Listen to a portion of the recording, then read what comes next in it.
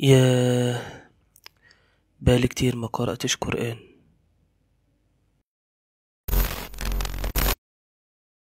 ولقيت إن القرآن مليان أسرار كتير والقرآن فيه حاجات أنا عمري ما تخيلت إنها تكون موجودة فيه. فيا ترى إيه هي الأسرار دي؟ ويا ترى في حاجات فعلا عن القرآن أنت كمسلم ما تعرفهاش ومحتاج تعرفها؟ الفيديو ده هيجاوبك على كل الأسئلة دي. فانطلق إلى الفيديو خد من وقتك شوية. الفيديو ده مهم جدا ليك كمسلم. كان دايما بيحب القرآن وكان دايما ليه جلسات مع القرآن. ففكر في يوم إن هو يحيي الليل كله بالقرآن. فبدأ يقرأ من سورة البقرة ألف لام ذلك الكتاب لا ريب فيه هدى للمتقين. فكان جنبه ابنه الصغير نايم وعنده الفرسين بتوعه اللي بيعدهم للجهاد فهاجت الفرسين فسكت. قرأ مرة تانية فالفرسين هاجوا. فسكت. قرأ مرة تالتة فالفرسين هاجوا. فسكت فنظر إلى السماء فرأى غمامة لم يرى أجمل منها.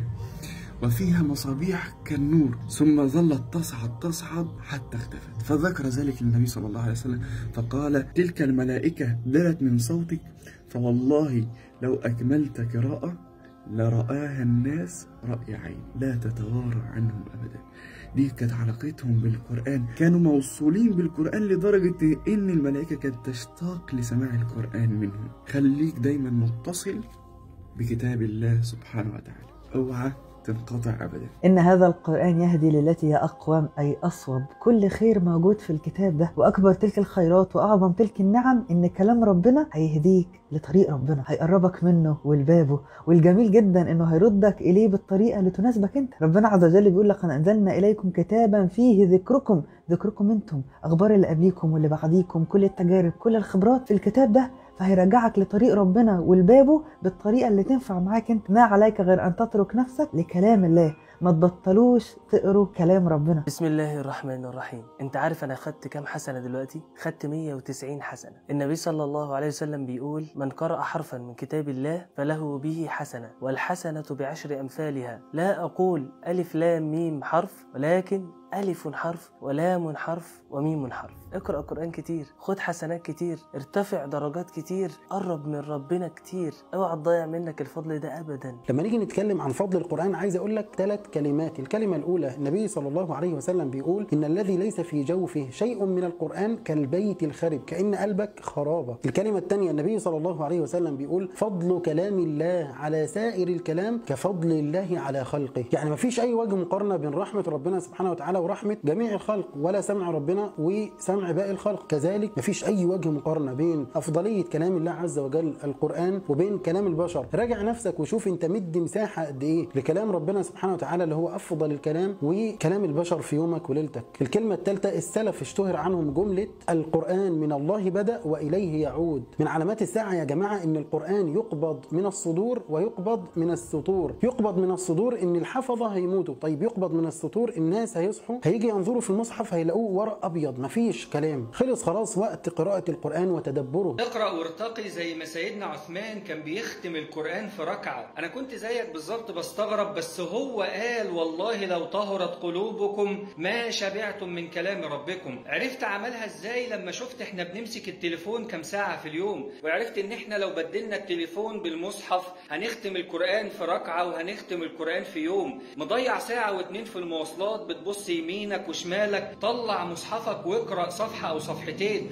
هو القرآن اللي هيشفع لك هو القرآن اللي هينفعك في القبر ويوم القيامة. ما تضيعش عمرك على الفاضي اقرأ وارتقي ارجع للقرآن. تخيل معايا واحد عايش حياته في أوضة ضلمة ما فيهاش أي شباك وما بيدخلهاش أي نور وهو محبوس فيها ما بيخرجش منها ابدا. وواحد عايش حياته في مكان منور كله خضرة وكله أماكن طبيعية ومناظر جميلة جدا. أهو ده الفرق ما بين اللي عايش مع القرآن والإنسان اللي بعيد عن القرآن. ربنا سبحانه وتعالى يقول أو من كان ميتا فأحييناه وجعلنا له نورا يمشي به في الناس. كمان مثله في الظلمات ليس بخارج منها. اوعى تهجر القرآن اوعى تعيش بعيد عن القرآن اوعى تنشغل عن القرآن. القرآن كله رحمة ونور وخير وبركة. ربنا سبحانه وتعالى يقول عنه قد جاءتكم موعظة من ربكم وشفاء لما في الصدور. شفاء للهموم والأحزان والمشاكل اللي في حياتنا. طب أعمل إيه؟ وصية من أخيك. حافظ على ورد يومي من القرآن ولو صفحة. حافظ إنك تقرأ القرآن كل يوم ولو صفحة حافظ على الوصية دي.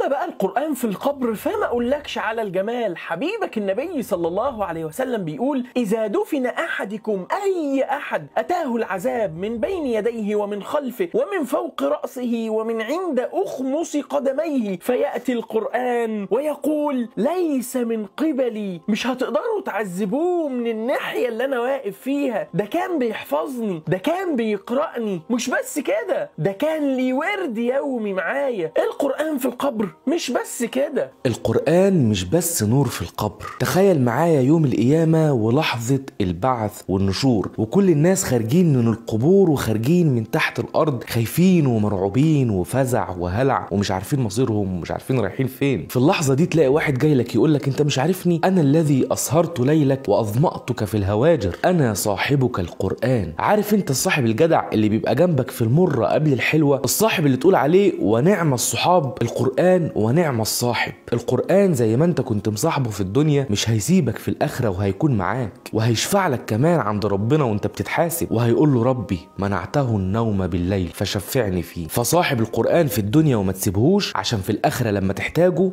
مش هيسيبك. النبي صلى الله عليه وسلم بيقول إن القرآن يلقى صاحبه يوم القيامة حين ينشق عنه القبر كالرجل الشاحب فيقول له ألا تعرفني؟ فيقول لا أعرفك. فيقول أنا صاحبك القرآن الذي أظمأتك في الهواجر والذي أسهرت ليلك وإن كل تاجر من وراء تجارته وإنك اليوم من وراء كل تجارة فيوضع على رأسه تاج الوقار ويكسى والداه كلتين لا تقوم لهما أهل الدنيا. فيقول بما كسينا هذا؟ فيقال لهما بأخذ ولدكم القرآن. القرآن هيجي لك بعد ما تطلع من القبر على شكل جميل جدا. بيقول لك أنا صاحبك. أنا صاحبك اللي سهرتك في الليالي وأنا صاحبك اللي عطشتك من كتر ما أنت كنت بتقرأني وريقك كان بينشف. أنا هكون معاك وأسندك وهلبسك تاج وهلبس أبوك وأمك التاج. صدقني من أجمل أنواع البر بأبوك وأمك إنك في يوم القيامة تخليهم في المكان العظيم ده. في بقى شوية أحكام ضرورية كده مهم إنك تكون عارفها وأنت جاي تقرأ قرآن. حاجة مثلا زي هل لازم تكون متوضي وأنت جاي تقرأ قرآن؟ مش لازم تكون متوضي وأنت جاي تقرأ قرآن. طيب قررت بقى إنك تمسك المصحف وأنت جاي تقرأ قرآن؟ هنا بقى في خلاف بين أهل العلم إن هل لازم تكون متوضي ولا لأ.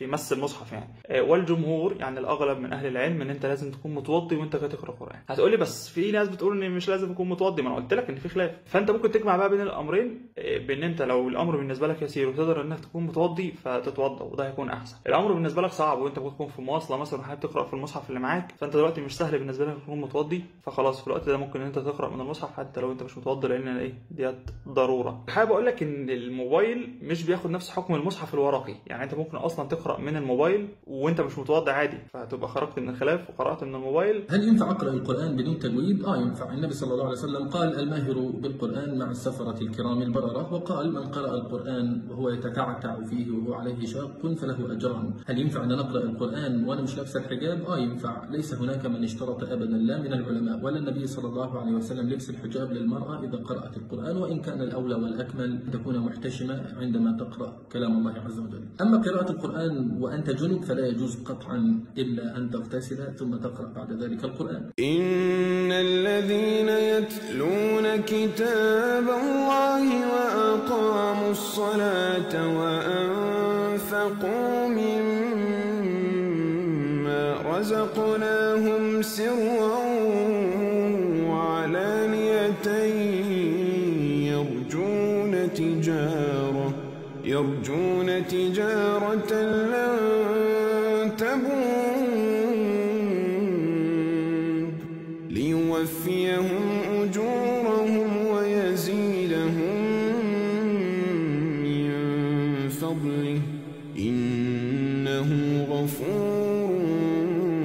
شكور والذي أوحينا إليك من الكتاب هو الحق مصدقا لما بين يديه. إن الله بعباده لخبير.